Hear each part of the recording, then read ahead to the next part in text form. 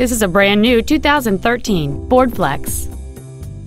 It features a six-cylinder engine and an automatic transmission.